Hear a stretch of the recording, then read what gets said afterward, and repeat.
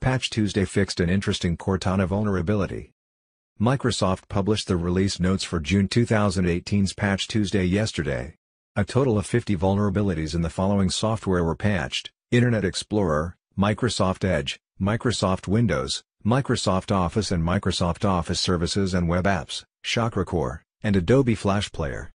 Among the usual security cracks and gaffes, there was an interesting vulnerability in Cortana patched up.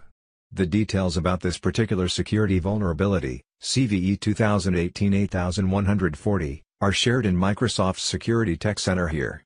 In brief, it was a security hole that allowed a hacker to summon Cortana from the lock screen and run executables or scripts on a USB stick. It was even possible to reset the PC password this way, thus gaining full access to the computer and its files.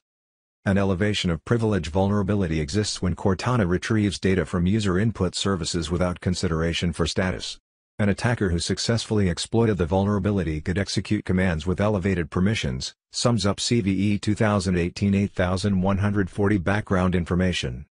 In an email received from Tripwire about the Cortana vulnerability, it was suggested that this is an important issue to consider as it targets a growing and popular class of technology, intelligent digital personal assistants. It is noted that Alexa has had weaknesses exposed with its third-party apps, and it is expected that we will see more probing of this attack surface. Like Alexa, it seems that Cortana is listening to commands even if the machines is closed or locked, an optional default, see below.